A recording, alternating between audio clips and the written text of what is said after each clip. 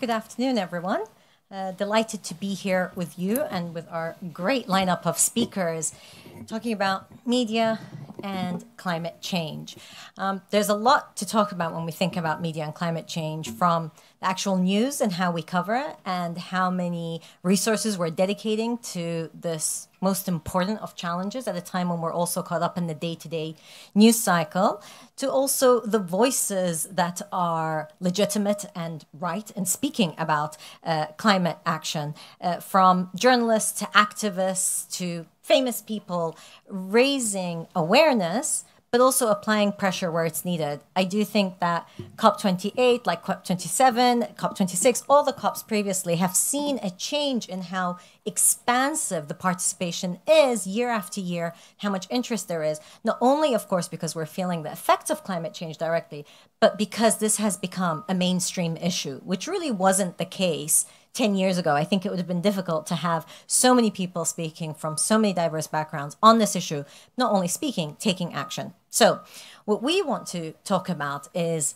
how can the media play a role in this effort to combat climate change, but also think about how we continue to cover the story and make sure that we're being factual, accurate, but also informing publics.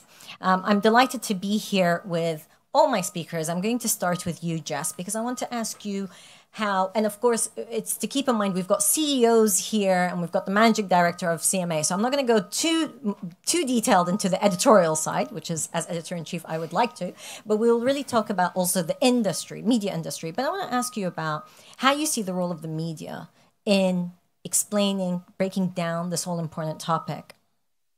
Well, thank you for that kind introduction. And it's so great to be here in Dubai. This is actually my first COP, and I just flew in. Uh, I made this a priority to be here with my team. And media is such an important and plays such an important role in the climate conversation. And in my role as CEO of Time, I'm really proud of the work that our journalists have done. Uh, a couple things that I'll mention just about Time. I just uh, am a year in into my into my role. We have the largest global audience in our history at 120 million. We just turned 100, so we're having our centennial. And I know the introduction uh, for the panel was a, a, lot about misinformation and disinformation, and uh, it's so important to be trusted and to be respected and well liked, and I would say balanced. And that's a lot of what we're we're doing, especially when it comes to climate. And uh, we have Justin Worland. He's like, I, would argue, one of the leading climate journalists um, in America. And uh, we we have uh, uh, Time CO2, which is our climate action platform. Uh, we have Shaila Raghav here. She's our chief climate officer. I don't know if another media company has somebody like Shaila. So we have subject matter experts um, on the editorial side, but also across the entire organization. And of course, Time 100 just came out, um, really putting a spotlight on different voices and activists, officials, CEOs that are influential in this. So tell us a bit more about Time 100 in terms of how it generated a lot of buzz. Did you expect that? It, it did. Uh, so, as I said, we've leaned heavily into climate, and it's not just a separate something that we do, it's across everything that we do at Time. Uh, we have our uh, Earth Awards, which we launched also this year, and we did our first ever Time 100 Climate Leaders. Uh, and I'm really proud uh, to talk about it here today what we did, we spent months, um, not just our journalists, but we talked to experts around the world to identify, recognize, and really celebrate who are the most important, influential individuals who are making an impact in climate today. Uh, so 100, we'll do it every year. This was our annual. 45% are women, 60% are international. And it was those that are um, driving change, building a better future, but also having measurable results and driving business. So that was the lens and the focus for the 100. And you're going to have people on this list that have been doing climate for decades that are heroes John, Ken- John uh, Kerry, we've got Bill and Melinda Gates. Um, but we also have those in regulatory uh, areas. We've got those in sustainable luxury fashion. Uh, we've got individuals uh, in design, in activism. It was just a really deep, wide ranging list. We're really, really proud of it. Uh, we have Stella McCartney, who spoke at our Impact uh, event last night. And if you see what she posted about this recognition, she said that it was the proudest moment for her in her career to be named by Time. So that um, I think sums it up pretty well. And she also spoke on this forum and spoke about how she was seen as a lone voice. There were lots of people here at COP28 actually who, who were saying it was lonely, but it's nice now that the that it doesn't feel as lonely. So um, she's definitely one voice that's been speaking about this for quite some time. Almar, I want to turn to you. Um, Jess was just speaking about the importance of trusted voices and how important it is for media companies to maintain that trust. But also, you gain that trust by ensuring accuracy, data accuracy. Of course, Dow Jones has a series um, of uh, outlets and, and uh, ways of telling these stories. I want to ask you how Dow Jones approaches uh, climate change stories, but also this point about data accuracy, transparency, and how information from media companies like yours plays a role. Yeah. Uh, well, thank you, and uh, great to be here. Uh, so trust, uh, as, as Jess indicated, is at the uh, at the heart of uh, what quality media organizations are focused on, and you cannot foster that trust without focusing on facts. we believe that the energy transition is the story of our lifetime.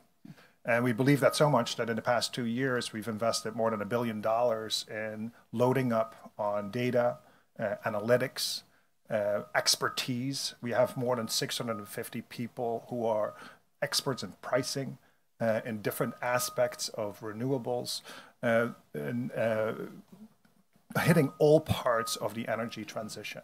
And so uh, that's critical for us. Then at our more mainstream outlets like the Wall Street Journal, uh, you've got dedicated people, a team of uh, probably a, a, dozen or so people. Ken Brown is the, the climate editor uh, who's here.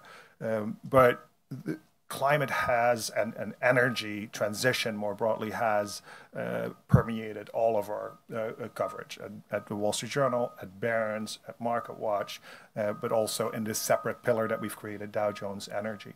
And so I think that contributes uh, to the responsibility that that uh, serious press has mm-hmm. uh, to invest in uh, uh, pursuing facts, uh, creating databases that can then be used by reporters, but also by, by clients and other media organizations. Um, but it's also a great business opportunity. And it was uh, one of the points that uh, uh, Secretary Kerry made in the, in the past couple of days that there is climate and energy presents a, a, business opportunity. And for us, this is one of our fastest growing commercial endeavors as well. And so it, it's wonderful when those two things coincide, and, and that's the kind of model that you want to have. And I hope more people can uh, can follow that. And so, uh, being factual, it starts by making sure that you have a culture of being factual. That that um, I always say that one of the best things that we do is when we make a mistake, you know, we correct in, in mm-hmm. public and mm-hmm. owning that. And so, having that in your DNA helps. And then making sure that you accumulate data and expertise and make, make sure that that is a, a permanent presence at, at our company. What we're now seeing is in the, in the many different parts of, uh, of our company, um, the, uh, the, the, different pillars are beginning to work together. So we have the expert the experts work uh, with uh, our reporters at the Wall Street Journal. We have people uh, uh, assessing risk mm-hmm. at Dow Jones risk and compliance, looking at environmental risk now, and so uh, it will foster yet new business uh, for us in, in time to come. The, the point you made about uh, data and ensuring that you have that data set because clients need it. People are, are asking for that and ways of measurement. It also comes at a time when people are questioning big pledges are made, big announcements are made, but then a year or two later, how much of that has been delivered? So, how, how much of a role do you see uh, your work being as part of that? I mean, that's a, it's a critical part, of course, of, of making sure that just the information ecosystem has to be as clean as possible for people to make good decisions. And that's effectively what our job is. Like we inform people with trusted information to make decisions. Uh, and so uh, there are a lot of opaque areas, mm. uh, unclear areas uh, where we need to shed light. Uh, one thing is uh, so uh, carbon trade pricing. And actually, here um, at, at, COP, we have a pilot running with uh, Dubai Financial Market, um, uh, where we provide carbon pricing, uh, carbon trade pricing, uh, analytics and news uh, specifically focused on that. And th- those are areas where if you don't have reliable pricing, if you don't have reliable information there, uh, then there will be consequences in the market. And, and that's when you can have, in fact, uh, you know, some uh, pledges out there that might not be um, exactly, it might not stack up against a sort of marketing message that comes with it. So, but we, we want to introduce uh, facts, and that's that's our drive. Sid, I'd like to turn to you. Um, we've been talking about media, of course, news, uh, and and you're involved in business media, but you're also involved in entertainment and also ensuring that there's diverse voices. Because one of the concerns has been climate and other uh, major global trends are often not reflective of the global story. And it was really important, Jess, what you mentioned about Time 100 being diverse, both from a gender perspective, but also a global perspective. So I'd like to ask you about how you see that entertainment, but also diversity being important in uh, the role of media when it comes to climate action. Absolutely. Um, let me start by saying uh, thank you for this opportunity, and it's an honor to be here and to speak to the uh, the audience today. Um, I just want to clarify. So we are the founding shareholders and operators of uh, CNBC Africa and Forbes magazine in Africa. So we run a licensed edition, and we're present in all 54 countries with headquarters in South Africa, and we've got our uh, um, bureaus in West and East Africa, and Nigeria and Rwanda. So that's kind of the the, the background. So um, a lot of my experiences in business media and news production. So let me start firstly by talking about entertainment more from a consumer uh, point of view, because you know we I think part of what I'm about to say is about the the impact and the power that entertainment has, and that largely comes from being able to tell stories that make it relatable. So if you have an issue, um, you're more likely to take it seriously if you can contextualize it to your life and your experiences. And something like climate change and the impact of climate change impacts absolutely everybody. Um, one of the things that comes to mind, uh, and if you allow me to take examples from uh, you know cinema, um, I don't know if uh, if anybody's seen uh, I Am Legend. It's a movie that came out with Will Smith in 2007. Um, I'm not going to go into the plot or, or uh, yeah, no spoilers, yeah.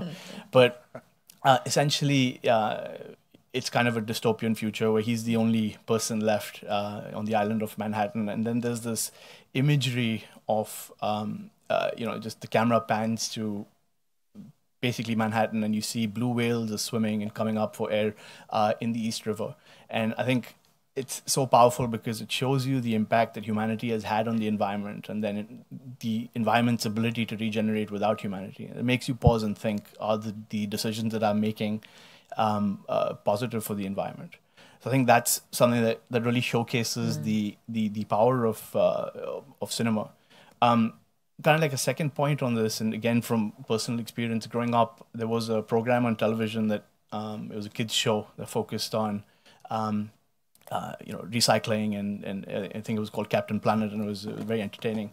And any any millennials in the in the audience would probably remember the show. Yeah, there you go.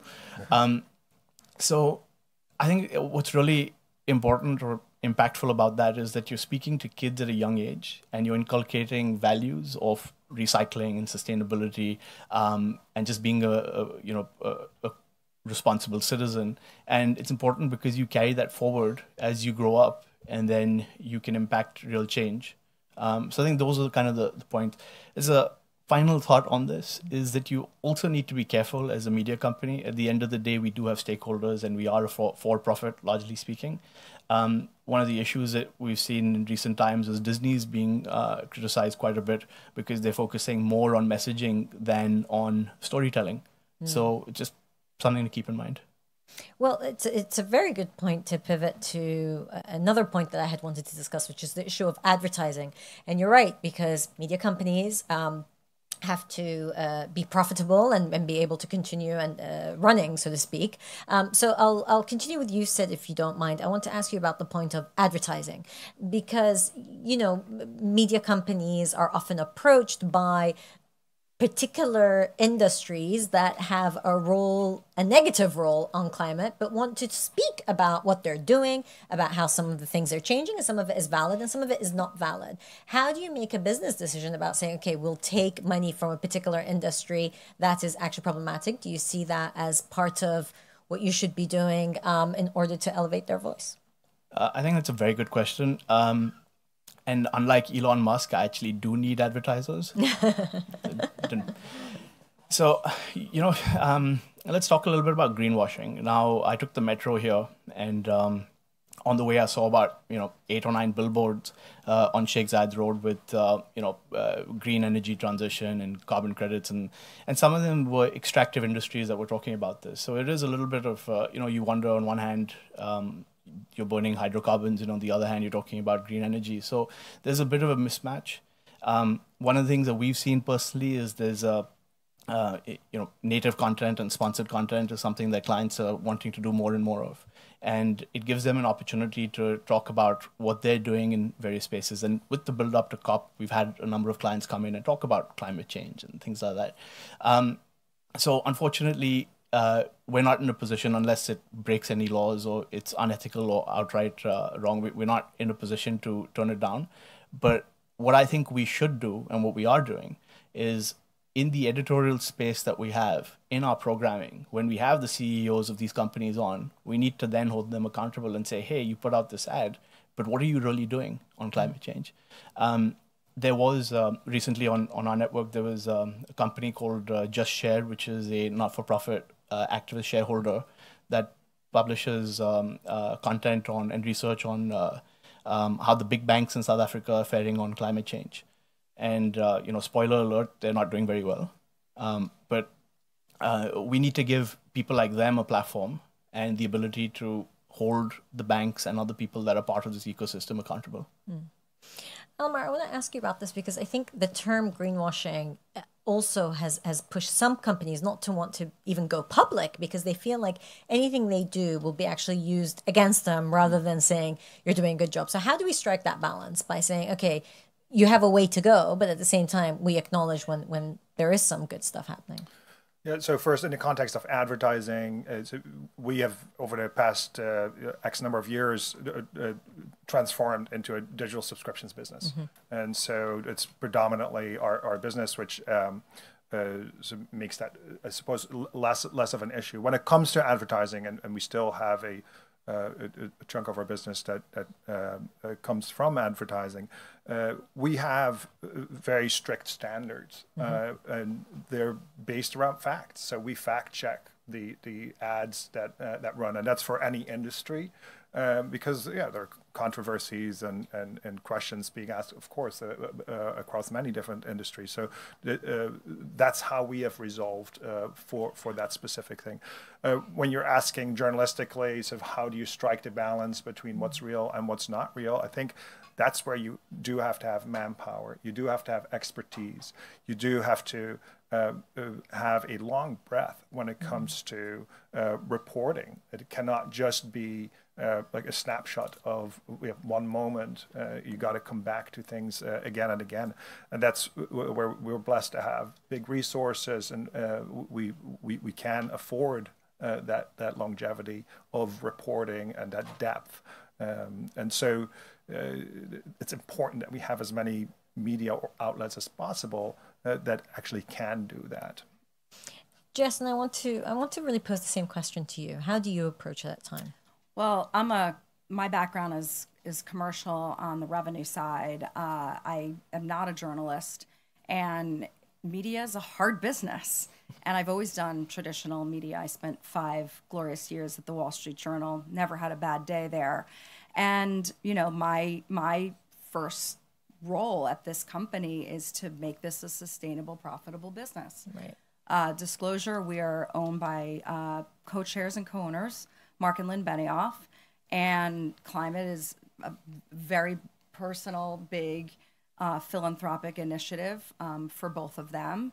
And I, you know, I would say for advertising is really important for us, and we work with the you know blue chip best brands in the world. And we're really proud of those partnerships and those relationships. We work directly with our customers at the very top, CMO and CEO levels. And I think it's a collaborative conversation around, yes, transparency, accountability. We do feel that all voices should be heard and all voices matter. And when you look at the Climate 100 list, that's reflective of also who's on that list. And this is climate is an ongoing and forever project. And it starts now, it starts here. And if everyone does a little, wow, everyone doing a little can add up to a lot. Um, I would say, why is advertising so important? We don't have a subscription business at time. We have a different type of audience. We have the youngest audience in our history 45% are 35 and younger. They care vehemently about this topic and they know that they're inheriting a lot of the challenges and they've got to come up with the solutions. And I made the bold and courageous decision. Um, you were there in the room when I made the announcement uh, at our Time 100 gala that uh, we were taking down our paywall. So uh, I feel like our purpose and our mission is to tell these stories to a global audience. Not everyone can pay, not everyone wants to pay, and not everyone wants to get blocked when you get on an article. And I believe that time should be available to everyone in the world and accessible for free. And that's my strategy. That's our mission. That's our purpose. And go to time.com. We have time for kids. We care about news literacy. Yes, we care about trust. Yes, we care about rigorously reported objective journalism. But, you know, in order to get this information into the right people, we don't want to do climate crisis communication. We want to do more solving. We don't want to make it all bright and cheery, but um, that's sort of the model that we have. I would say uh, a couple of examples. I'll, I'll maybe just uh, choose one. We partnered with um, American Family Insurance. We've been working with them for years, and we're now announcing Person of the Year. I can't tell you who it is, but uh, tune in uh, next Wednesday, the 6th of December. And it's something we've been doing for, for 95 years. And we collaborated on a program called Dreamer of the Year. And during our Person of the Year gala um, with AFI, we talked uh, to Donnel Baird. Uh, he's a local, incredible entrepreneur running BlocPower. And he has great dreams and in the climate startup space, uh, an incredible entrepreneur, uh, man of color. And those are the kinds of things that I think when you look at advertising and how we can continue this conversation and make it really important, uh, those are some of the things that we've been working on. Can I just say the the urge to go deep into a conversation about paywall or not paywall um, is very very strong. But I will I will respect that this is a general audience, but we're going to have to continue this conversation because it's it's one of the biggest questions um, for media companies, but also our industry is going through so many changes. How people consume information, how they're being informed, is changing at a speed that we can only keep up, but also we want to get ahead of the curve. So um, uh, indulge me. I'm going to talk a bit about the industry, and then we'll we'll open up to Q and A. So please prepare your questions.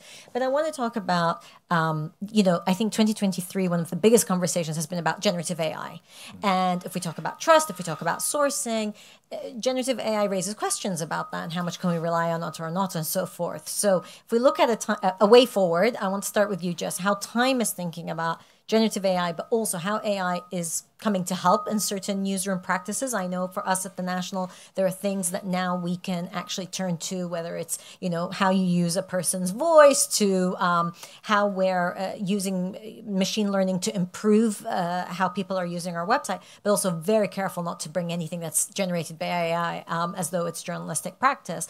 So I want to ask you about that. How does Time approach generative AI, and how do you see the future? Yeah. So uh, as I mentioned. Uh, Mark Benioff, the chair, CEO, and co founder of Salesforce, uh, we are uh, independent operationally and editorially from Salesforce. Mark and Lynn own time as a private investment. And with that said, I have spent a, a lot of time in the last year with the Salesforce executives and uh, going to Dreamforce, which was the largest AI event, I think, in, in the world uh, in September, and there's just so much conversation uh, around you know promise and progress and excitement and enthusiasm, and then when we talk about media or I get back to time in our newsroom, there's more about peril and challenge and concern and uh, job elimination and, and things like that. Uh, so it's just it's been very very interesting. I would say uh, three things. One is uh, we're covering AI like no other media brand. Uh, so we're really excited to make sure that we tell those stories and again identify those individuals. Uh, we are probably not doing enough uh, ourselves because we're a little risk averse. We mm-hmm. would rather others go first. Uh, we've seen a lot of others make a lot of mistakes and we don't want to be in that category.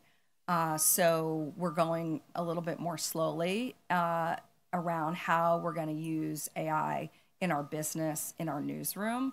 Um, I'm personally excited uh, about some of the tools and technologies just to be smarter, to be more productive. Uh, we're working with Google on a couple of pilot programs where you could take a, a time story and obviously translate it into any language, but you can also make it uh, a version for a third grader or uh, you know a version for a first grader. So there's like a lot of ways that AI can be really exciting. Mm. Um, and I'll tell one very quick personal story. My son just graduated from the University of Michigan, and uh, he was so proud to show me his final uh, paper, an assignment that earned him his diploma, which was an eight page essay on the labor movement in the 1930s. And I know this kid, I'm like, he is not excited about that topic in an eight page essay. Because he was that kid who came home and he was like, why can't I learn about 401ks? Why can't I read the Wall Street Journal? Why do I have to read Anna Karenina or like read about the Greek gods? And he was so excited because he used ChatGPT to do this paper. and I said, okay, first I'm going to strangle you for doing that. Second, I'm going to strangle you for telling me that you did that. But he said, no, you don't understand. The assignment was to use AI. And he was so excited to tell me how he prompts and the outline and the factually reported eight page essay of which he, he passed. So uh, I think that there's a lot of opportunity for AI yeah. if we just do it right. And I know we'll follow you smart people um, have a, who have a lot larger newsroom and a lot of data. So we're going to be looking to you, uh, yeah. what you're doing at Dow Jones uh, and at Forbes. Uh, well, well, thank you. Uh, uh, Please, just, Almar, yeah. absolutely. Tell us how you're going to do it. Well, we're going to take your, your, your ideas. So you know, first, the coverage, of course. this is there. There are so many big stories uh, right now, so many crises, so many changes. We live in perma change, right? Uh, that generative AI is clearly a, a, major story that is that is part of that narrative, and so covering it to the very best of our ability uh, across all of our newsrooms is a is a top priority. And Emma Tucker, our, our new mm-hmm. uh, editor in chief, is very much leaning into into that. Um, when you talk about AI from a media company perspective, you get back to the discussion you wanted to avoid, uh, uh, which was uh, about value. So the first principle here is, uh, for us at least, that uh, information, and particularly high quality information, has value, and we actually want to install that and that, that instill that feeling as well uh, with uh, young users and train people that information doesn't just happen for free. Quality information doesn't just fall out of the sky. It's very, very costly. Uh, we spend upwards of a billion dollars on on uh, uh, uh getting information uh, to to users. And so, wh- how does that connect to AI? Well, the learning models have been crawling, and mm-hmm. and and so there is data that has been ingested. Um, that data includes uh, stories uh, from uh, from many media organizations and basically anything that's been uh, on on uh, on the internet. Um, and and so as those uh, pieces of information are feeding learning models, we are negotiating, and this is this is public, and we've talked about it before. We're negotiating with several media tech platforms to make sure that that value is recognized, right. and because if you go back to two decades yeah, there was a huge decision uh, made that you know, information wanted to be free. A, mm. a lot of newsrooms that weren't uh, uh, perhaps as, as, capable as, as time, uh, but local newsrooms in the US went along with that. And the consequence uh, of making everything free at that time was uh, that today there is a barren landscape when it comes to local media reporting, which has hurt local communities, et cetera. And so we are at a moment when that the value of information has got to be recognized. And, and so that's part one, the, the negotiations around, uh, around that, and uh, that's ongoing and, we, we're approach, approaching that in a constructive uh, in a constructive way. Uh, second, uh, this as Jess indicated, this feeds into workflow. For, it's, it's a work tool uh, for our kids, but also for our for our newsroom. Uh, it's uh, it, it, will help efficiency. It will help reaching. many, many more audiences you know, through translation, for example. third, uh, it's it will create new products, and mm-hmm. uh, and so we have several products in the in the pipeline that will uh, trickle out over uh, over uh, the next time, uh, the next the next few quarters, um, and that will only accelerate. Um, and so these these products will take different shapes. Some of it is experimental. We're going to have to do a lot of test and learn. I think that is important. We're not just going to put everything on on one particular execution. Um, so it's exciting, uh, but also proceed with caution. Uh, I, I, completely agree with Jess that rushing out just to have an announcement around AI, there's just not much use to that, at least not for us. And um, so uh, we're, we're taking it one step at a time, but we have a, a, a large group of people focused on this. Sid, I'd like to ask you, how does CMA Investment Holdings look to generative AI? Um, so yeah, um, gosh, there's so many ways to talk about this, and I'm trying to hold back the excitement because this is something that I'm personally very excited about, and I've been trying to implement across all of our businesses, not just in in, in media, but um, on, on the media side, and you know, at the risk of repetition, um, it does augment your ability as a human being. You can do a lot more. And you have efficiency gains. Um, so we're trying to get our uh, newsroom to start using it as a tool to at least do the bare bare minimum and then build from there. And let me give you an example of a workflow that we've recently started experimenting with. And I think the important thing is experiment until you get it right. Um, and that is that you know we see ourselves uh, primarily as a legacy uh, uh TV station first, and then a digital media second. Uh, and that's just a function of the market that we're in at this point in time.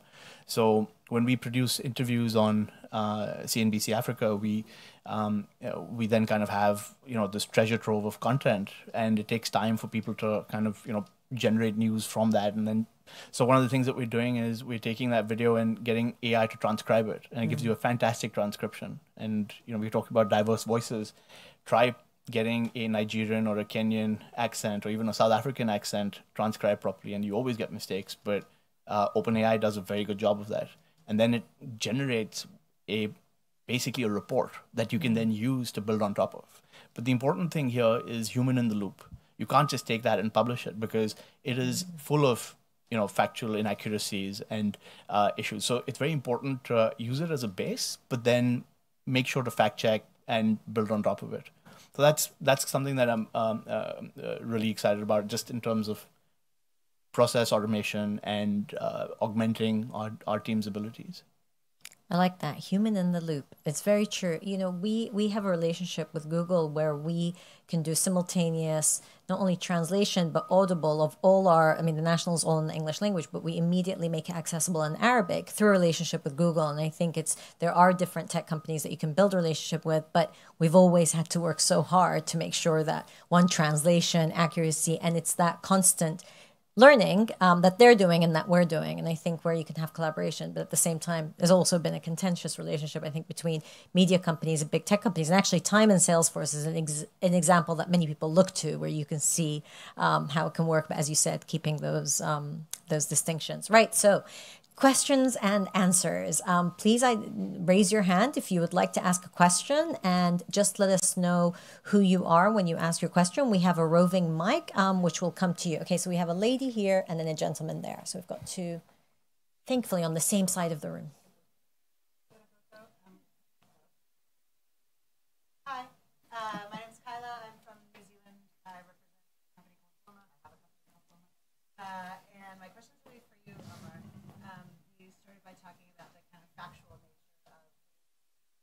and obviously, as we all know, facts are presented in the form of narrative that includes choices about facts. A utopian future of no humans or a utopian future of in the harbor. What kind of work do you do before we get to the reporting stage on a particular issue in order to make decisions about the focus area or the I would use the word ideology, but it's not about being. I, I, know you're not an ideological organization, but there's always ideological choices behind the which facts we choose to present and in what way. How do you address that? Yeah, thanks. I mean, if we if we do have an ideology, it's it's being factual, right? That that is our and, and not to be uh, coy, but that that is that is uh, the the the the value we hold in the very highest regard. And so, pre-reporting, this is where we made these investments to uh, to make sure that we have data sets that are actually pricing. There's undeniable trends uh, around that, uh, where we uh, uh understand sort of intricate, uh, again, financially uh, driven decisions by companies in, in large data sets. And so, as much upfront data that that is proprietary to us. Uh, gives us a competitive advantage, but also helps us tell stories that we think uh, are, help society, help people make decisions, uh, but ultimately also then uh, help us grow as a business because we prove greater value. And so I think the more we can upfront uh, uh, equip our, our reporters, our editors, our analysts, and, and really all of our employees with access uh, to uh, to those proprietary data sets. I think that's critical. The, perhaps superseding that is is just culture. You you have to have that culture of accountability.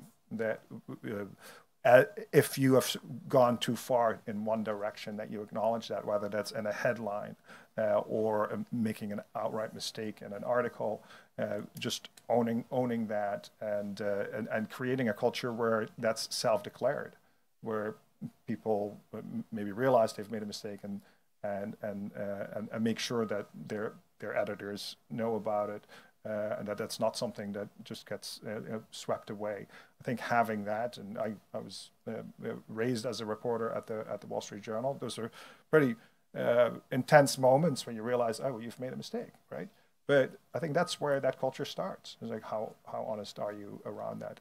Uh, so if you have created a culture like that, just maintaining that, making sure that, that those values are upheld. We have a very very strict code of conduct, so that your personal behavior, and your own uh, perhaps uh, uh ideological uh, proclivities are not intertwined with your reporting somehow in an explicit way.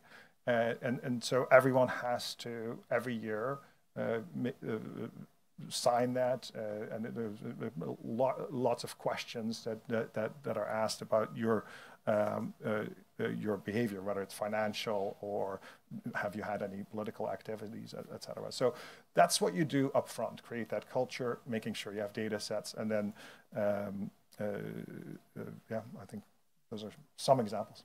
That's great. Yeah, hi. My name is uh, Alok Deshmukh. I run a company called Superhuman Race. It's solving for primary reliable impact data.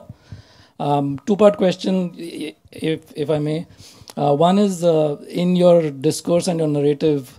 I'm a little disappointed with the title "Climate Change," which really should be "Climate Crisis" or "Climate Emergency." So, what's your position with your company's change or crisis or emergency?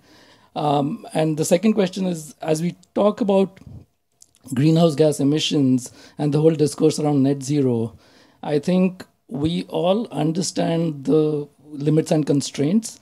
And we talk about net zero like it's a profit and loss statement, where it actually ought to be a balance sheet. So, yeah. Okay, that, that felt more of a comment than a, mm. than a question.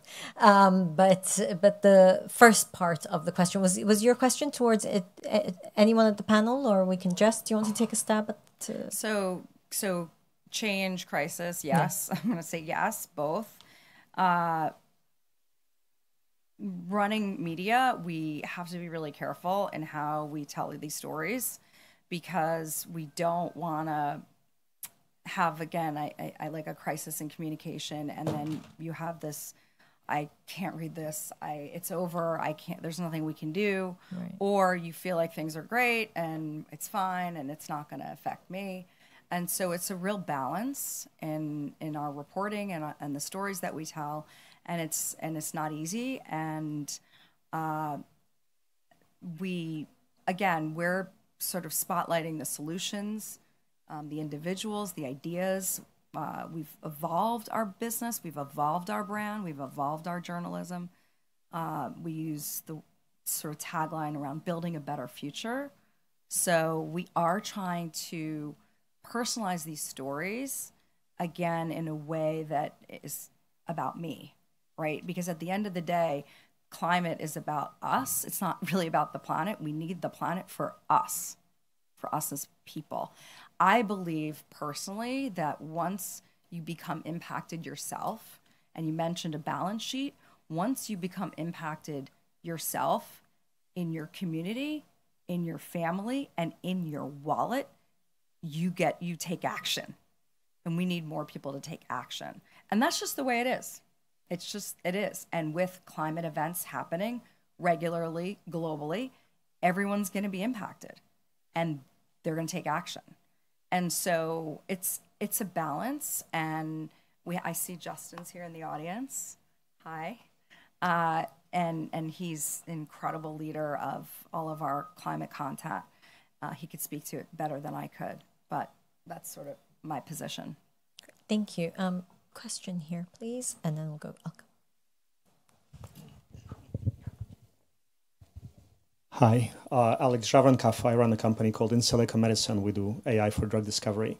Uh, but um, by the way, first, I wanted to comment that the fact that we have empty seats in this panel is shocking because uh, the role of media, I guess, it's the most um, uh, is the most important uh, feature that drives uh, you know us towards fighting climate change. Uh, but my question is on generative AI. uh, great uh, question, uh, Mina, um, uh, but I don't think it was fully answered. Um, I, I, have two questions. So one is, um, are you planning to introduce your own conversational tools in in the near future, either Time or Wall Street Journal? And um, uh, also, how do you ensure accuracy with generative AI because at some point in time the journalists will use the tools and uh, they are becoming increasingly valuable because you can crawl the entire internet and provide real-time reporting with high accuracy. So my question is how do you achieve accuracy?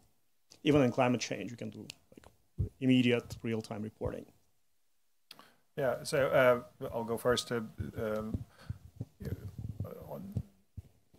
first, we, we we want to walk slow when it comes to using uh, new tools and then making them public facing. Uh, the, uh, so there's no rush, whether that's a tool that, uh, that a reporter might use, and then the product of that appears um, in a publication.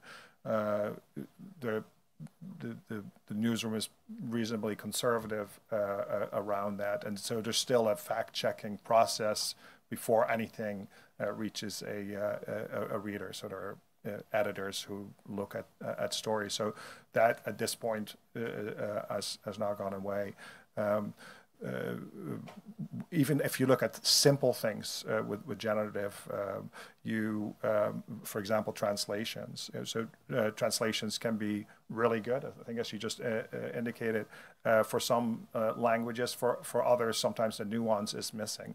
Um, we, um, we do see examples where generative AI, when working with, interacting with human intelligence, works really well. Uh, one of the things that we do at Dow Jones uh, uh, uh in our risk uh, arm is uh, to look identify financial criminals or human traffickers, and we do that for corporate clients um, and and so on. And we have found that um, as a, as a human, we we have uh, quants and researchers in Singapore and Barcelona and Princeton, uh, uh, hundreds of them, looking at large data sets. on their own, they can draw certain conclusions uh, and move at a certain pace. But uh, with generative AI and the, the, ability to summarize, they can access far larger data sets. And so uh, we've had uh, situations where uh, financial criminals very often set up shell companies uh, and fronts and fake websites where there was a, an a HR company um, in, in Southeast Asia um, that uh, the human the researcher suspected of not being uh, uh, up to snuff. Uh, but they couldn't really prove it. So then they used generative AI for massive data set uh, and found out that uh, there were corresponding phone numbers and, and email addresses on another site that a human could simply not have found because the data set was way, way, way too large. And so they connected these two things and found out that the HR site was actually a human trafficking site. And, uh, and so we call that approach authentic intelligence, where, where we bring the human and, uh, and, and the machine together. And so we hope to see more of that, not just in that very specific business, but, uh, but I, I uh, imagine that our reporters, our editors, over time, they're going to have very, very powerful tools at their disposal where hopefully we can uh, unveil uh, a lot more criminal behavior uh, and, and introduce just more facts in, in, into the world. So. Sid, you said you were quite excited about generative AI. So, if you can address those, one, do you plan to introduce uh, sure. tools, but also uh, ensuring accuracy when used? So I, I think um, at this stage we're not planning on doing anything public facing, and that's largely because of the occasional inaccuracies that you get, and it would be irresponsible for us to do so. So it is an internal loop, and as I said earlier, um, human in, internal tool and human in the loop is important. So nothing goes out without somebody double checking and fact checking. Um, so that's currently where where we stand. But one of the opportunities that we see, well, it's a threat and an opportunity.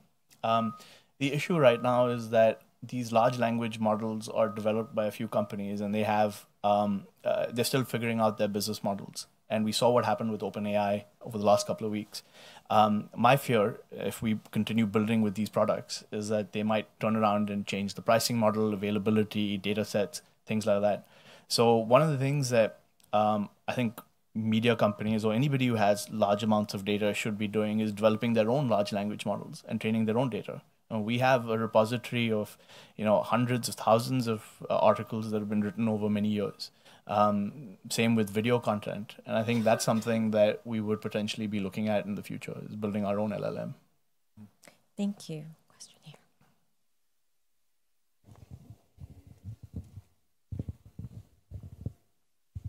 Hi, um, this is Jonathan Hawkins from uh, a small media startup called CNN. Um, You mentioned Almar earlier on about the uh, the barren landscape of local media and the importance of local journalism in terms of the climate crisis.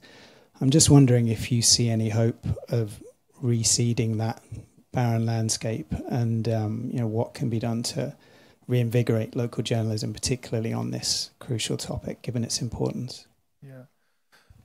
So I am, in spite of that earlier comment, I'm, I'm quite optimistic um, on the long term uh, about uh, local media. And, and here's why. Uh, the barren landscape also translates into an opportunity. Know, what we do know, when you look at the, the VIX, the fear index, you know, for what we see uh, in our readership, of course, uh, each time there is a crisis, we see uh, more people, of course, coming to the site as you would at, at CNN, but also uh, more more demands, uh, subscriptions, and, and the like. And so we know that people crave factual information, and so the the trick is to make it available. There is a market there, and what encourages me is that you now see a proliferation of uh, private uh, initiatives, more startups, um, uh, more journalists who have been sort of pushed out of the mainstream system, but who have expertise, who have local knowledge, who might have very narrow uh, uh knowledge about uh, certain aspects of a community. Um, you see them step forward and they're experimenting. So you see actually a, a, a beautiful uh, um, uh, mosaic of um, different initiatives and different almost tests live experiments taking place um, all over uh, the U.S., but also uh, outside uh, outside the U.S. And so something is going to translate. I'm confident into a, a model uh, that works, and you can see that. You know, it's not exactly local reporting, but there's, for example. Um, you know, uh, legal experts that that can do really factual uh, reporting, can break uh, stories, uh, have scoops, and uh, uh, find an audience for that that is you know, either willing to pay or there is an advertising model around that.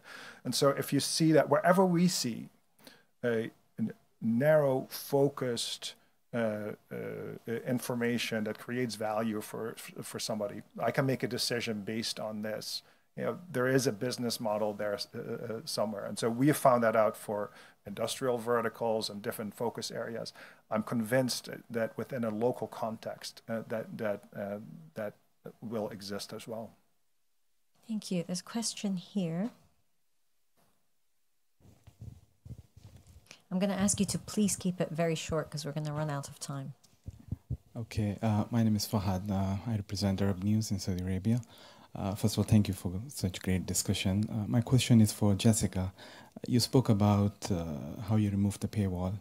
So, what's your take on on this argument that says that if you want, if you value quality journalism, you have to pay for that, and uh, because that also enables you know the writers and journalists, uh, give them more resources to to work for it. Okay, thank you. I'm going to ask just this gentleman to ask his question, then we'll, we'll group them together just okay. for time. Okay. Gentleman at the back, yeah. Thank you. Uh, hi, I'm, I'm Dr. Shubha. I'm founder of uh, Eneros Global Energy, and uh, we are setting up a special purpose media fund to uh, uh, you know jumpstart uh, the startups uh, that are you know trying to use media uh, for uh, you know, acting as a tool for climate change. So my question is to Sid. Like how do you see investment you know in an arena like um, you can use media for uh, as a tool for climate literacy. And uh, I, will have a small comment that uh, it's a very you know, nice topic. And uh, we can think of a lens like uh, money mind and media. This is the 3m that's uh, should be the lens for the climate change. Thank you. Thank you very much. Okay so jess. Yeah uh, so for time this was the right business model and approach for for our brand um, it was not it was a courageous and bold decision because clearly everyone else is going in the opposite direction. I made the decision for time. Uh, number one, uh, it, it wasn't working for us. we're not the Wall Street Journal or Bloomberg. We have a very different audience. We have a very different model, and we have different journalism. And we're a hundred year brand. And we talked a lot about trust today. And at 100 years of trust, it takes one, one mistake to, to lose that. And the, the, the red border is globally recognized as that trust, and we need that now. So that's our mission and that's our purpose. And if we're going to stay around for another 100 years, we want to stick to what our mission is and what our purpose is. And it really lent itself to that. The second is this is a little bit of your gut and a little bit of I've been in the traditional legacy media space my entire career. It's the only thing I've done. And I just saw that this isn't working. And this isn't working not just for time. I just went first and I just said the truth. But it's not working for Netflix. It's not working for Hulu. It's just the subscription business had a huge moment and it's still going to work for the Wall Street Journal. It's still going to work for the New York Times but it's not going to work for everyone. Mm-hmm. And I saw my own behavior during COVID. I had like 20 things that I was reading. And then all of a sudden, I wasn't reading 20, I was reading five. And I didn't want to pay for all 20. And I think that that's where consumers were headed. I saw this coming, that was my gut.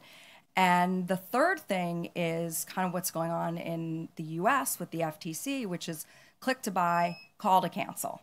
So click to buy it, you're done, but you can't get anyone on the phone when you want to cancel.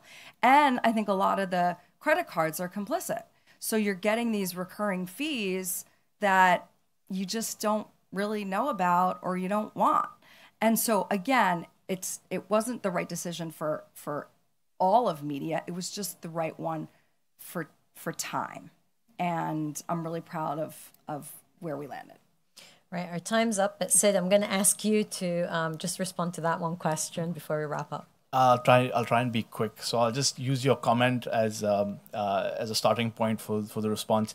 So the most important thing you mentioned, in my opinion, is money, right? And that's when uh, you kind of contextualize a problem and and uh, make it relevant to to people and education as part of this. Is that how does climate change impact my wallet? and is that through my livelihood is that through my way of life so i think that's something as um, as a business media channel we do well because uh, we're already seeing the impact of climate change uh, on uh, things like flash floods and crop yields uh, and things like that so i think that really does uh, you know kind of uh, make it very important and urgent for people this has been a great panel. Thank you. From the responsibility of climate coverage, investing the resources in people and abilities and data sets, to trust the value of information, but also the business opportunity that we have as media companies with covering this all important climate crisis, climate change, climate action. Important to make stories accessible and relevant and thinking about our audiences and who they are we're lucky to be living in an era where we actually know more about our audiences. You know, before we used to print a newspaper, put it out there, and hope that the editor's decision was right. Now we know if it is or it isn't. And of course, the speed of change of what we're witnessing. Important to talk about subjectivity. I think rather than ideology, we're all subjective. We chose to be in this panel rather than the 20 other panels that are happening, subjectivity and what drives us, what moves us. And in the end, how climate change is impacting us as individuals, and therefore our responsibility as media people to make sure that we're covering that story. Thank you very much for your insights and for your time. Please, a round of applause to our panel.